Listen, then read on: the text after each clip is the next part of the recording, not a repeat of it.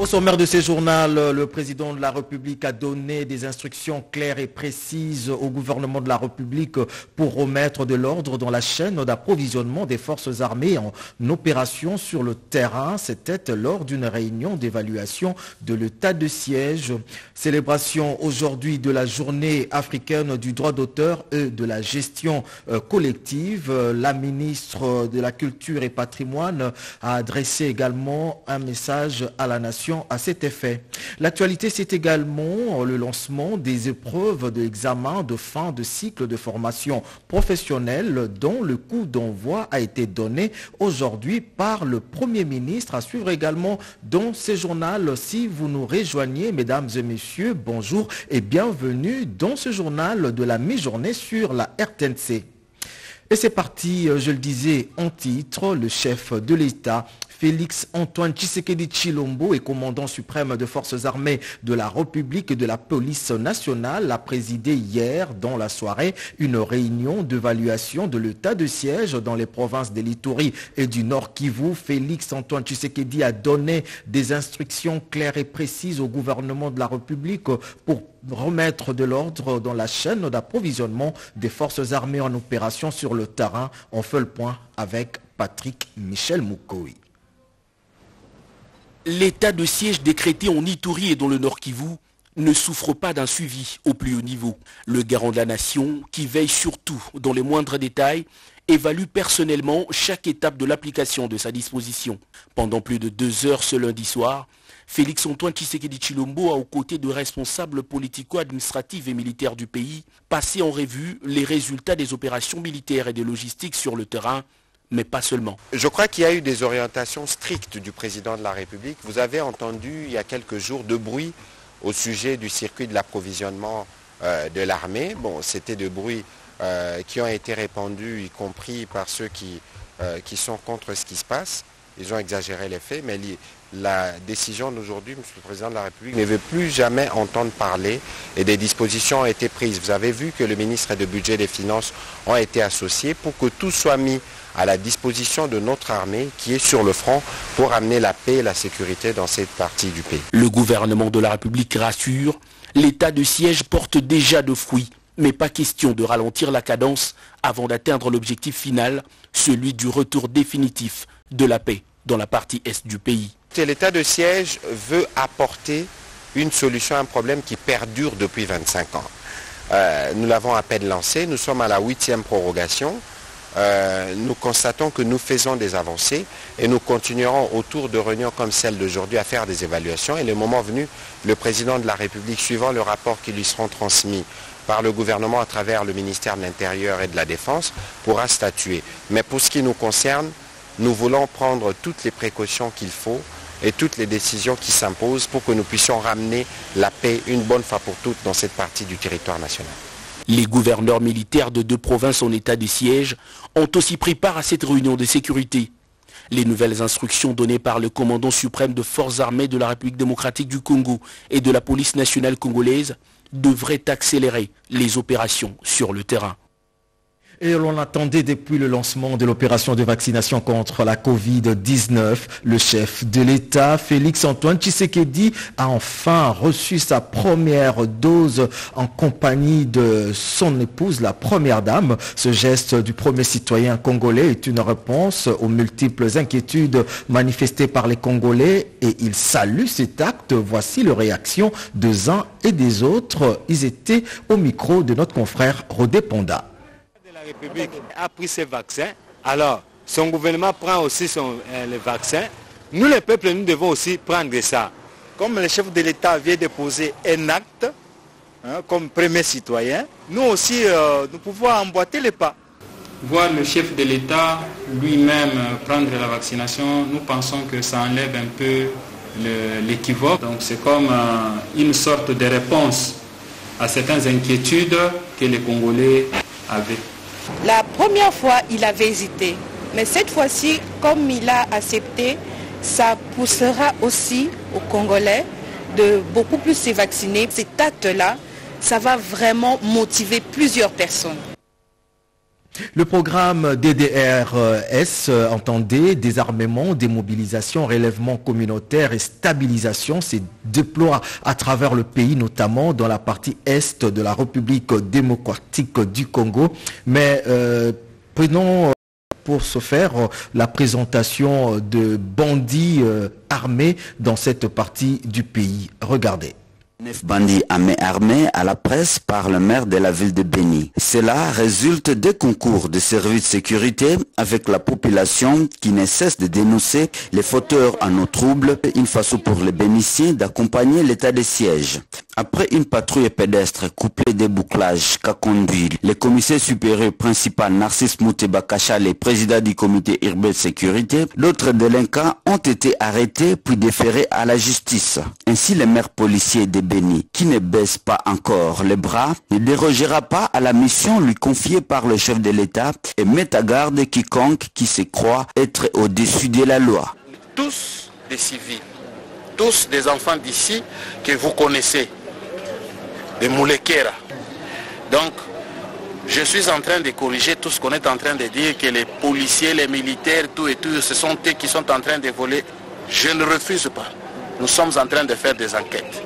Mais dans un premier temps, je vous présente le premier, la première équipe. Alors, nous allons demander à la population de rester calme, de nous laisser le temps. Nous, nous ne dormons pas. Nous sommes en train de travailler jour et nuit et tous ces gens, nous les avons arrêtés. Ils ont fait presque quatre jours chez nous. Et aujourd'hui, nous allons les déférer devant la justice. Donc la population reste calme. Calme et qu'il nous donne le temps. Nous savons qu'il y a des manipulations, nous savons qu'il y a beaucoup de choses qui se passent ici à Béni. Nous sommes au courant de tout ça. Malades de l'hôpital général de référence des Kissantou Saint-Luc viennent de bénéficier euh, d'une prise en charge. Un geste généreux signé Christophe Mbosso Kodiampoanga, président de l'Assemblée nationale. C'était lors de son récent séjour dans la province du Congo central dans le cadre de ses vacances parlementaires. Revoyons les temps forts de ce reportage avec Sylvie Mwembo. Une représentation nationale du peuple proche de ce mêmes peuples, c'est l'image que le président de l'Assemblée nationale veut imprimer à son institution. C'est à Kisantou, dans la province du Congo central, que Christophe Mbosoko Diapwanga, accompagné des députés nationaux élus de ces coins du pays, a visité l'hôpital général de référence de Kisantou Saint-Luc. Des frais de soins et d'hospitalisation de tous les malades internés ont été payés par le speaker de la Chambre basse du Parlement. Devant les forces vives de la cité de Kisantou, Christophe Mbosoko Diapwanga n'avait qu'un seul message tous les fils et filles du Congo central doivent soutenir les actions du chef de l'État Félix Antoine Tshisekedi Chilombo. Ah, je parlais de l'union sacrée parce que nous voulons les changements. Et ces changements entrent dans tous les domaines de la vie. Et c'est un secteur dans lequel l'union sacrée va concentrer ses efforts pour améliorer la situation sanitaire de tous les hôpitaux et améliorer, donner, procurer, euh, fournir des soins de qualité à nos frères et sœurs qui sont malades. Et en même temps, améliorer les conditions de travail des médecins, des infirmiers et tous les personnels médicaux. Avant de regagner Kinshasa, le président de l'Assemblée nationale a lancé les activités de la jeunesse de l'Espoir Congo. La structure a tenu sa première assemblée générale extraordinaire. D'ici la fin de ce mois, l'Union européenne va organiser à Kinshasa un dialogue qui mettra autour d'une même table tous les Congolais de toutes les tendances confondues d'une part et l'Union européenne d'autre part. Les questions politiques, économiques et sociales seront sur la table. Jean-Marc Châtaignier l'a annoncé au président du Sénat, Modeste Batilukwebo. Reportage Sandra Nyangui et Guélor Kimpiaka. L'Union européenne est prête à accompagner le gouvernement dans le processus de pacification de la partie est de la République démocratique du Congo. Son représentant l'a dit au président du Sénat lors d'une audience lui accordée par ce dernier ce lundi dans son cabinet de travail. Jean-Marc Châtaignier a par ailleurs annoncé la tenue d'un dialogue qui sera organisé par l'Union européenne à la fin du mois de septembre en cours. Vous savez, ce processus de dialogue politique est, inclusif, il ne comprend pas uniquement, enfin, il va au-delà du gouvernement, il inclut les institutions parlementaires comme le Sénat, l'Assemblée nationale, il inclut aussi la société civile. Donc c'était pour moi un message important à porter au président du Sénat. Et puis ensuite, bien sûr, nous avons abordé des, sujets de fond qui sont pour nous importants, pour lesquels euh, nous pensons que l'Union européenne peut apporter un accompagnement à la République démocratique du Congo, euh, qui sont d'une part l'appui au retour à la, paix dans l'Est de la République démocratique du Congo, l'accompagnement que nous pourrions apporter euh, en, discussion bien sûr avec nos partenaires congolais sur le processus qu'on appelle DDRCS, nous assurer que bah, effectivement il y ait une porte de sortie qui soit là pour les anciens combattants. Et puis nous avons parlé aussi euh, du, processus électoral et, de l'accompagnement que l'Union européenne pourrait faire par rapport à celui-ci. Selon l'hôte de Modeste Bahati la rencontre mettra autour d'une même table tous les Congolais de toutes tendances confondues et l'Union européenne. Les questions politiques, économiques et sociales seront évoquées travaux d'Antin, région Afrique centrale, ont été lancés par le vice-premier ministre, ministre de la fonction publique.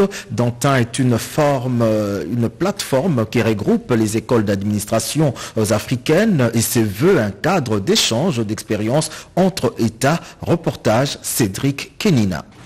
En prélude de l'Assemblée générale qui se tiendra à la fin de ce mois de septembre en Afrique du Sud, le vice-premier ministre, ministre de la fonction publique Jean-Pierre Liaou a procédé au lancement des travaux d'Amdine, région Afrique centrale, ce lundi 13 septembre 2021 à l'hôtel Rotana. Ces assises de Kinshasa connaissent la participation de plusieurs pays de la sous-région tels que le Cameroun, la République du Congo, le Centrafrique et d'autres. La vision euh, d'Amdine est de permettre euh, aux écoles qui en sont membres de devenir des centres d'excellence capables de répondre aux défis de développement africain et aux engagements mondiaux. La République démocratique du Congo soutient activement les actions de cet important réseau africain. Pour les participants, cette structure favorise la mise en place des passerelles, des collaborations euh, dans la formation des futurs cadres de l'administration publique. Nous avons besoin d'un management assez conséquent et excellent pour nos administrations publiques au niveau de l'Afrique et partout l'Afrique centrale. Les administrations de l'Afrique est une sorte de plateforme sur lesquelles ils peuvent travailler ensemble en réseau pour, pouvoir échanger des idées et des expériences pour l'amélioration de nos fonctions publiques. Connaissant les mêmes problématiques, les pays africains sont dans une logique de coopération pour permettre aux élites sorties des écoles nationales d'administration de pouvoir être en même de trouver des solutions à toutes sortes de défis euh, une administration publique au service du peuple. dans le chapitre des infrastructures, le ministre du Développement rural vient d'inaugurer un marché moderne de Kabe Kamwanga. Euh, nous sommes là dans la province euh, du Kassai. Euh, regardez.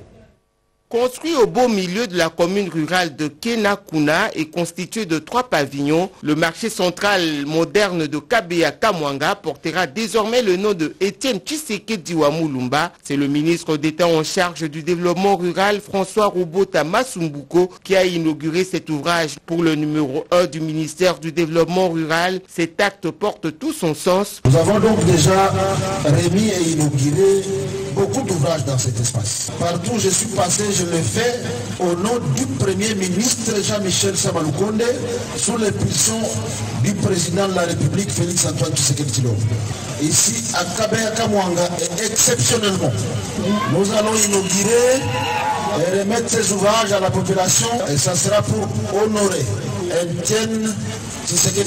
François Roubota Masumbuko, qui a visité la résidence privée du 5 de Limité, dit être venu se ressourcer à la base. Pour moi, c'est un grand symbole historique.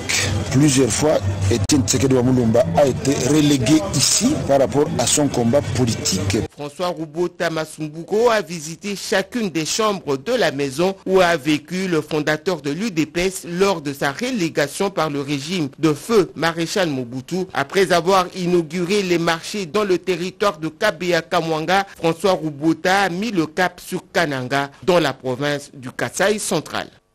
En œuvre depuis 2016 dans l'objectif d'augmenter euh, par euh, la mécanisation agricole la production vivrière. Le programme volontariste agricole PVA n'a pas atteint ses objectifs. Le constat a été fait par le conseiller principal du chef de l'État au collège de la planification agriculture, pêche et élevage, Ambroise Kazambou, lors d'une mission de suivi et évaluation dans cinq bases agricoles du pays. Reportage Guilain Kaloubondi. La revanche du sol sur le sous-sol, tel que le souhaite le chef de l'État Félix Antoine Tshisekedi Chilombo, passe notamment par le développement du secteur agricole. Des programmes élaborés et mis en œuvre pour booster ces secteurs existent et sont en cours d'exécution sans que la situation ne change. C'est dans ce contexte que le conseil principal du chef de l'État au Collège de la planification, agriculture, pêche et élevage a été dépêché en mission de suivi et évaluation du programme volontariste agricole PV en sigle dans les provinces concernées. Sur les six sites agricoles à travers le pays, cinq ont été visités par Ambroise Kazambou Mukinaï. Après la présentation des civilités à Madame le gouverneur intérimaire du Kassai oriental, le conseil principal du chef de l'État Ambroise Kazambou s'est immédiatement rendu en Kwadi, dans le territoire de Chilengue. Le principal constat, c'est le taux de réalisation très faible du programme PVA. Autre site visité, c'est celui de Sakadi, dans le Holomami. Le conseil principal a évalué les équipements que le prestataire DEM a fournis au gestionnaire BAB pour le travaux de l'agriculture. Tracteurs, moissonneuses et plusieurs autres engins ont été trouvés sur place. Quant à l'usine de transformation des produits agricoles, elle est en cours de construction. À Lubondaï, dans le Kassai central par contre, sur les 2500 hectares prévus pour les développements agricoles, aucun hectare n'a été emblavé en dépit de la forte présence des tracteurs. Sur le site d'Nkoudi, dans le Congo central, la réalité est quasi la même. Ajoutez à cela l'absence d'une usine de transformation des produits agricoles. Seule la base agricole de Mongata, Maluku, dans la ville-province de Kinshasa, dispose d'une usine déjà construite. Les bémols, c'est que la production n'est pas encore en récolte. Mise en œuvre pour 5 ans, soit de 2016 à 2021, ce programme PVA qui a pour objectif d'augmenter par la mécanisation agricole la production vivrière en vue d'impacter positivement sur le prix des produits de base sur le marché, n'a pas, en croire le conseil principal du chef de l'État, atteint ses objectifs et le taux de réalisation n'est qu'à 41,9%. Ambroise Kazambou Mukinaï suggère en définitive le recadrage pur et simple de ce programme avec à la clé le renforcement des structures de contrôle et de gestion pour tenter de sauver ce qui peut l'être. Faisant d'une pierre deux coups, le conseil principal, accompagné de la gouverneure intérimaire du Kassai oriental, a visité à Chilengue le domaine agro-industriel présidentiel de l'Antsele d'Aipen. Le G25 qui regroupe plusieurs associations et mouvements citoyens apporte son appui aux institutions légalement établies. Une délégation de cette structure a déposé un mémorandum auprès euh, du bureau de la Chambre basse du Parlement. Encore une fois, retrouvons Cédric Kenina dans ce reportage dit sans langue de bois. Les G26, qui comprend Vision Fachi, chapeauté par Jekobea, apporte son soutien aux institutions légalement établies et émet son point de vue sur l'actualité politique des leurs. Le G26 soutient sans faille toutes les institutions légalement établies, notamment la présidence de la République, les gouvernements et les parlements qui sont issus des élections de 2018. Le G26 note des avancées significatives en matière d'indépendance de la justice qui fut au service d'un groupe d'individus et qui aujourd'hui constitue les socles de l'état des droits prôné par le chef de l'État, faisant qu'il n'y ait plus des intouchables. Nous en félicitons le chef de l'État, son Excellence, M. Félix Antoine Sekedi Tulombo, pour son sens élevé du patriotisme. Autre sujet d'intérêt commun, c'est ce que cette structure qualifie des fameuses motions contre le président de l'Assemblée nationale. Concernant la fameuse motion initiée par quelques députés nationaux en mal de positionnement, le G26 rassure cependant l'honorable président de l'Assemblée nationale de son soutien indéfectible dans sa mission d'aider le chef de l'État à instaurer l'état des droits dans notre pays et l'encourage à continuer dans la même lancée pour un Congo prospère où il fait mieux vivre. Une déclaration qui reprend pratiquement les motivations essentielles du soutien du G26 aux actions du chef de l'État Félix Antoine Tshisekedi. En nouvelle, l'Afrique célèbre aujourd'hui la journée africaine du droit d'auteur et de la gestion collective. Ici à Kinshasa, plusieurs activités sont organisées. Une occasion également pour la ministre de la Culture, Art et Patrimoine euh, d'adresser un message à la nation. Le ministère tient aussi à imprimer l'originalité de sa philosophie et sa politique générale pour les artistes tout en proposant de libéraliser ce secteur du droit d'auteur. Nous y reviendrons avec force de taille au cours de nos prochaines éditions. Culture encore. Parlons-en dans ce journal avec la tenue de l'Assemblée générale ordinaire de la SOCODA, entendez, Société congolaise de droits d'auteur et de droits voisins, dont l'objectif est de remettre cette structure sur le rail en vue de répondre aux exigences et aspirations des artistes pour un avenir radieux. Reportage Diane Balaka et Eric Kabomba.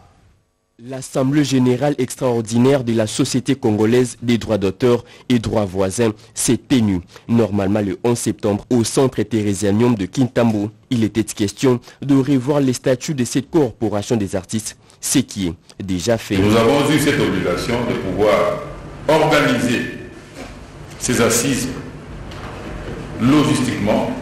Tout ce que nous pouvons vous dire, c'est que chacun de vous puisse contribuer réellement à ces travaux pour euh, que nous puissions vider finalement toutes les inquiétudes de coopérateurs pour doter la Société congolaise de droits d'auteur et de droits voisins un statut qui répond aux exigences de l'axe uniforme, au mais aussi des aspirations.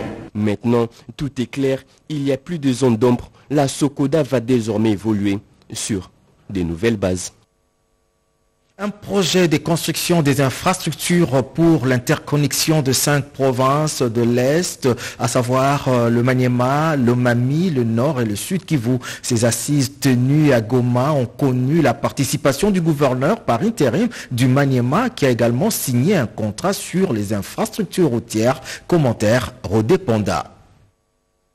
Le protocole d'accord tripartite signé à Goma, au Nord Kivu, engage spécialement l'évêque catholique François Mouhoya Mouchapa du diocèse de Kindu au Maniema, l'entreprise américaine Elion Capital Investment Fund spécialisée dans la construction des infrastructures de développement avec son partenaire Polaris représenté par M. Christ, ainsi que le gouverneur intérimaire du Maniema, Idriss Mangala Afani. Ces projets concernent l'interconnexion des cinq provinces de l'Est de la RDC, notamment le Maniema, le Nord et Sud Kivu, l'Ituri et le Lomami, avec les infrastructures routières. La construction de sources d'énergie électrique et l'approvisionnement en eau potable sont d'autres défis à relever pour garantir ces développements. Cet accord de partenariat signé ce 9 septembre 2021 intervient à la suite de l'atelier de deux jours organisé dans la ville de Goma pour la validation de projets de construction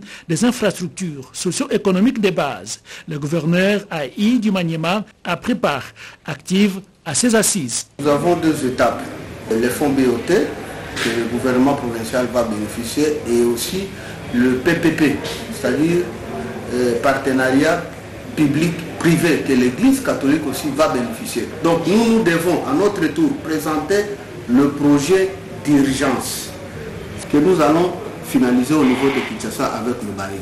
Idriss Mangalam reste convaincu du décollage de sa province une fois que ces projets sont exécutés, a-t-il souligné.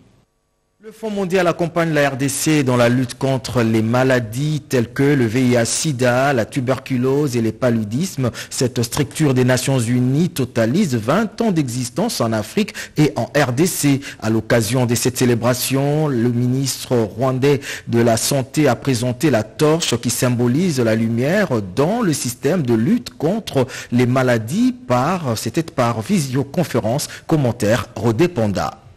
Reconnu en République démocratique du Congo comme un des grands partenaires du gouvernement à 80% pour sa contribution dans le secteur de la santé, précisément avec la lutte contre la tuberculose, le VIH-Sida, le paludisme et même dans la distribution des moustiquaires imprégnés, le Fonds mondial vient de totaliser cette année 20 ans en Afrique et en République démocratique du Congo. À l'occasion de cette célébration de 20 ans, la torche qui symbolise la lumière qu'apporte cette structure des Nations Unies dans la lutte contre les maladies virales et infectieuses, a été présentée en RDC par vidéoconférence après l'étape du Rwanda. Bien avant la présentation de cette torche par le ministre rwandais de la Santé, les échanges sur l'impact de l'apport de cette structure des Nations Unies ont été partagés entre les acteurs de la société civile des deux pays l'importance de cet événement avec le docteur Christian Luzombe, deuxième vice-président de l'instance de coordination du Fonds mondial en RDC. Cette commémoration a été organisée euh, de manière à ce que chaque pays bénéficiaire des subventions du Fonds mondial puisse euh, allumer la bougie qui symbolise la torche, c'est-à-dire la lumière, et que euh, l'on garde cette bougie ou cette torche pendant une semaine que nous aurons organisé différentes euh, activités et après, euh, la RDC aussi la passera à un autre pays. En tant que partenaire privilégié de la RDC, le Fonds mondial reste sur sa devise de sauver les vies humaines dans la lutte contre les maladies hier, aujourd'hui et demain politique avec l'UDPS euh, sur cette sensibilisation de l'opinion sur le programme d'action du chef de l'État, notamment la gratuité de l'enseignement et l'état de droit. Euh, on en parle dans ce journal avec José Doumbé. Les collectifs de cadres et membres de l'Union pour la démocratie et les progrès sociaux IDPS déterminés à soutenir les actions du président de la République, cette stratégie vise à barrer la route à toutes les initiatives pouvant compromettre le développement du pays dans les œuvres du développement du chef de l'État, les collectifs saluent la fermeté dans l'application du programme d'action sur la transformation totale de la société congolaise, notamment la gratuité de l'enseignement et la lutte contre la corruption qui passe par la traque des détourneurs des deniers publics, la réhabilitation des infrastructures sociales de base, l'instauration de l'état de droit et l'entretien des routes. Collectifs s'est dit disposés à apporter sa contribution significative aux efforts du gouvernement afin de relever les défis de la reconstruction nationale dans la transformation des ressources naturelles en projet à impact visible. Au Congo, nous avons une loi sur euh, le parti politique, la loi portant organisation et fonctionnement des partis politiques, qui dispose que les partis politiques fonctionnent conformément à cette loi et conformément à leur statut. Or, la position que le ministère de l'Intérieur avait prise, ça n'a rien à voir ni avec les statuts de l'IDPS, ni avec la loi qui organise le fonctionnement des partis politiques. Dans le même mode d'idée, le collectif attend accompagner les chefs de l'État dans la réalisation des différents projets au cours de ce mandat. Je le disais également au titre de ce journal que l'actualité, c'est aussi le lancement des épreuves des examens de fin de cycle de formation professionnelle dont le coup d'envoi a été donné aujourd'hui par le Premier ministre Jean-Michel Samaloukonde. Regardez ce reportage signé Pati Tondouangou, Marcel Moubenga et bienvenue Loussala. Une première à l'Institut technique industriel d'Enjili, l'ambiance des fêtes. Fanfare, tambour et musique classique sont au rendez-vous. L'événement, c'est le lancement de la première édition de l'examen national des fins d'études professionnelles et métiers baptisé Félix-Antoine Tshisekedi Chilombo.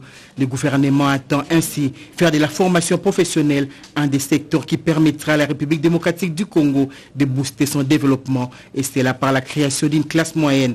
Il compte donc sur les 12 600 candidats de cette première édition répartis dans 24 filières, entre autres la maçonnerie et la menuiserie sur toute l'étendue de la République démocratique du Congo. La présence du Premier ministre montre l'importance que le gouvernement accorde à ces secteurs. Un motif de satisfaction pour Jean-Michel Samalou Konde Kienge d'encourager les lauréats en liste. Selon les chefs de l'exécutif national, la République démocratique du Congo a besoin de ses fils et filles pour tenir debout, mais surtout des Congolais formés et utiles pour la société.